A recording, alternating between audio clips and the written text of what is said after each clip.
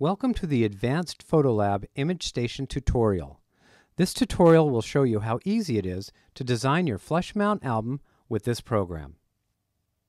To begin, take your cursor to the top left side and click on Photo Albums. When this page appears, click Create New. Advanced Photo Lab has several styles of photo albums to choose from. It is here where we will select the style, size, and album of your choice. As you click on any styles of this selection of the page, we see a sample image of our beautiful selections. Today we're going to select our premium 12 by 12 flush mount album. Now that we've made our selection, we see a black album featured, and, to the left, an assorted selection of colors to choose from. These color choices are done last. We're going to wait until later when we're finished designing our album and make our color choice when it's complete and in the shopping cart. Now it's time to decide the way you want to design your album. There are two choices. The first choice is called Photo Album Wizard. The second is Start Empty Album. By selecting Empty Album, you've made the decision to design your album from scratch. Today we're going to show you how easy it is to design an album using Photo Album Wizard. To begin, the program will walk us through a few questions. After answering, it will pre-design the album for you. Then, if you wish, you can very easily alter and modify its design. To begin, we click on Photo Album Wizard. As you can see on the top right, we're on step number two. Step one was selecting the album, Step two is for us to select a theme for your photo album. As you can see, there are many pre-designed themes. Viewing the selection, we see beautiful pre-designed backgrounds. I like to use my own pictures for backgrounds, so today I will choose Clean, which provides us with a blank white background. Now that Clean is selected, click Next here at the bottom right. We're now on step three. Select your photo album pictures. This is where we input our images from our hard drive or other computer location into the Image Station program. We have already created a special folder for the pictures we're going to be using. I'll now click on the folder, and we then see thumbnails of all the images in the folder. We could individually select each picture, but since I already know we're going to be using all of the pictures of the folder, I'm going to move my cursor to the left of the screen and click on Select All. Then here at the bottom center, I click on OK. Continuing on step 3, our screen is letting us know how many images we've selected and the minimum and maximum we could use. After this quick review, we select Next, and we're ready for step 4. Step 4 is where we preview your photo album pictures. We could hit the button Preview Pictures to review, but because we know the image is selected, we'll skip that and continue to step 5 by clicking Next. Step 5. Include caption on the first page. This is optional, and because we can always put a caption later, I'll skip this, click on Next, and continue to step 6. Step 6. Photo Album Summary. And it's just that, a summary of what we've accomplished. We selected the album we want, the style, and the pictures. At this time, we can click Finish, and the program will bring us to where we actually work on the album. On the bottom here, it's indicating that the program is loading book. This may take a few minutes depending on how many images it needs to work with. It's now finished and basically pre-designed our album. Let's take a few minutes here and get familiar with this area. This screen has four parts.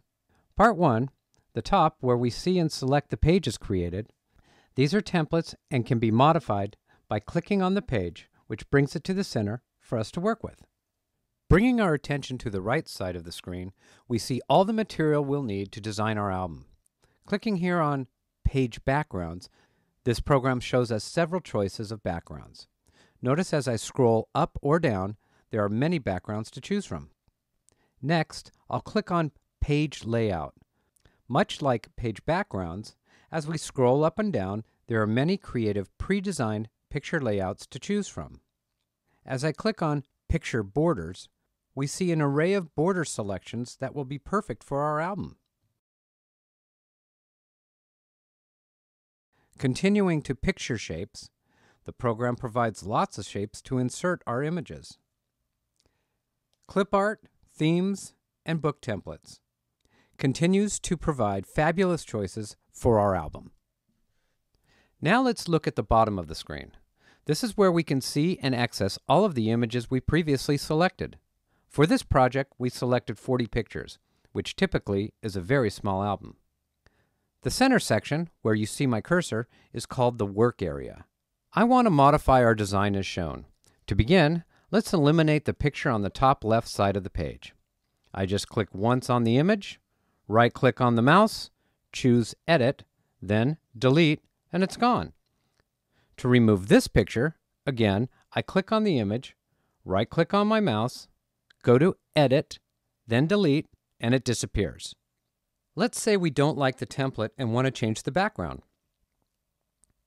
To do this with the pre-designed backgrounds from the program, I'm going to the bottom right.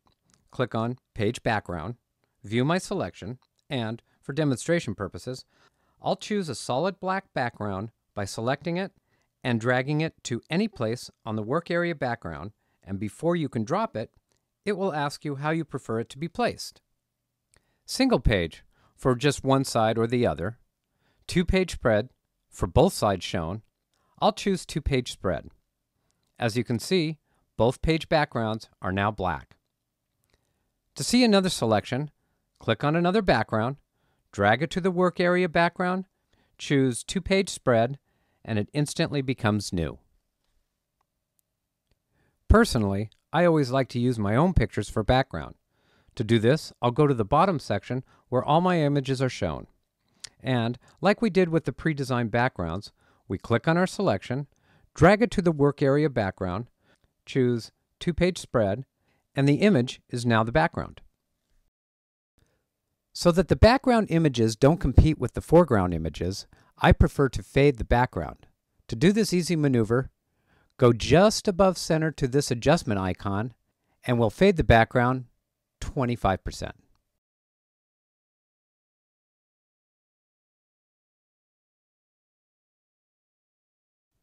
Now it's time to change the layout.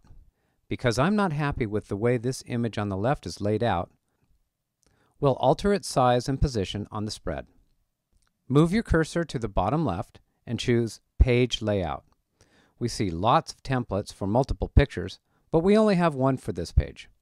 So I'll scroll up to the top to the samples of single image pages.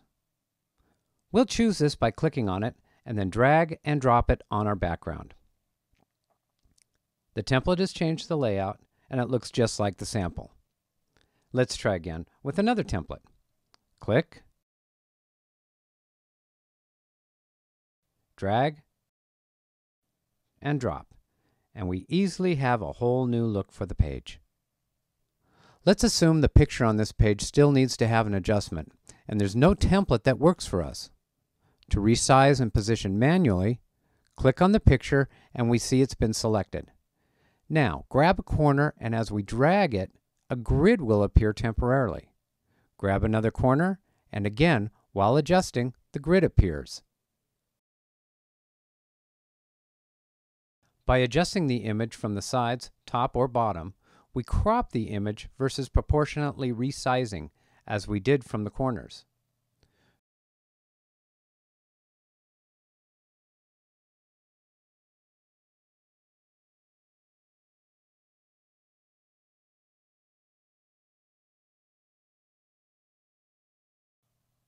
To enlarge or reduce the image within the box that we've now created, move your cursor to this plus icon, and by clicking on it, it will reduce. The minus icon enlarges the image within. To reposition the image within the frame, click and hold on the center. Then manually move about until the composition looks great. Other icons above allow us to adjust the actual image highlighted. This icon will instantly color correct our picture. This icon will fade the image.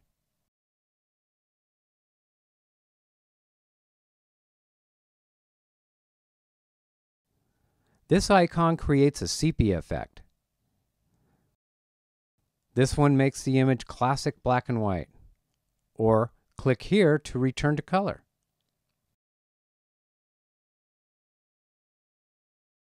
Earlier we used the plus zoom in and minus zoom out. This one creates an instant drop shadow.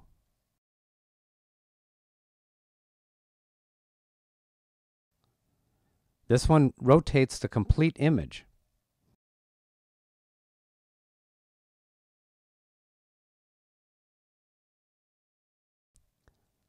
I'll click on the picture again to expose the adjustment icons and hit here to rotate the image back. This icon allows us to layer our images on top of each other. Watch as I move this over to the other picture where now the top image is covering the bottom. To reverse the layers, click here on the picture, go to the top and click this icon and we see the image is reversed. By now you can see that both using pre-designed templates or manual adjustments, laying out your spread is very simple to do. Moving on. Because our album was created within the program, some of the pages might be out of order. To change the page order, we go to the top of our screen where the pages are laid out in order. I see that page 8 should actually be page 5. So I'll click on page 8, then drag it over and drop it on page 5. 8 is now 5. Page 5 is moved to page 6, and etc., etc. Often creatively, we'll want to add pages to our Flush Mount album. To do this, click on the last page. Then go to the menu bar click Insert. The drop-down will offer Insert New Page and select it. And two pages, or one new spread, is added to the book. Now let's go to our new pages, number 21 and 22, and let's add our new images to these pages. I'll begin by picking this picture from the bottom.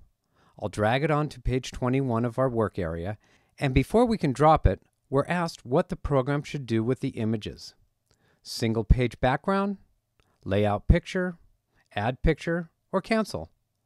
We'll choose layout picture and drop it here. Another cool feature of this program is that by clicking on the bottom left check icon, only unused images will appear on the bottom row. Because page 21 is empty, we'll move to the top. Select page 21, then back to the bottom where the unused pictures are. I'll select, drag, and drop them on page 21.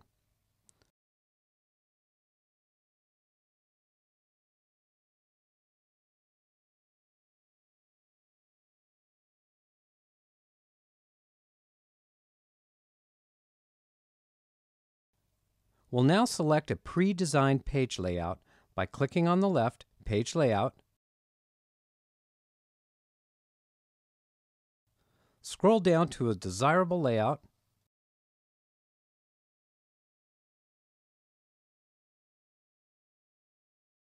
I'll choose this one. Drag and drop.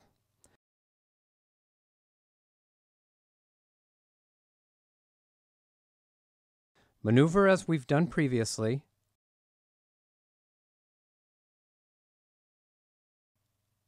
I'll pick a new background.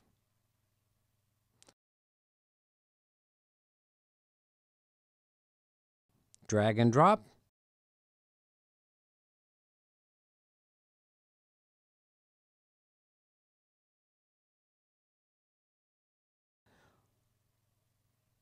And we'll add some borders. Let's do black borders.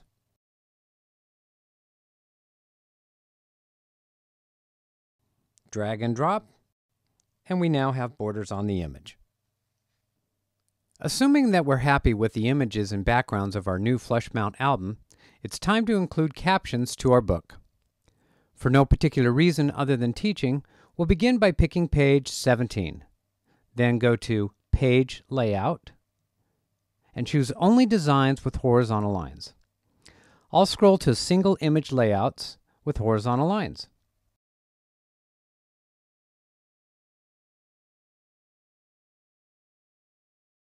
then drag and drop it on page 17.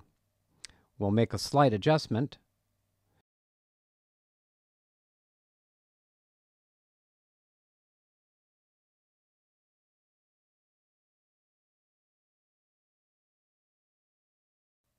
And we'll add a new picture here. Now inside the horizontal box on the right is a pen. Click on the pen and we now have the capability of writing text in the box. Because this is only a demonstration, I'll write test in the box. Now black over black, we'll change it to white to make it visible. We'll click here to center it Make it bold, italic, change the font size, and we're done. Now go to the top right where it says Send to Advanced Photo Lab. This takes you to the shopping cart, pretty straightforward, like any other shopping cart. We'll begin printing and assembling your personally designed flush mount album and ship it to you immediately after it's produced. We hope this tutorial has been helpful and want to thank you for choosing Advanced Photo Lab.